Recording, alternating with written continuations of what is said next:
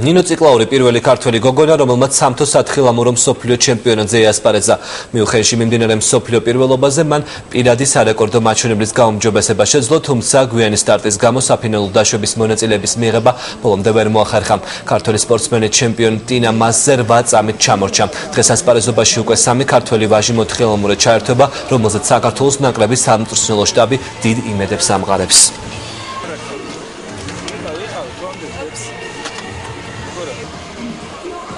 პირველ საფრთხე ჩემპიონატზე ძალიან კარგი გამოცდილება მივიღეთ. კაი არა ის ვარსკვლავთან ერთად ვარჯიშობთ, სრიალებთ. და კმაყოფილი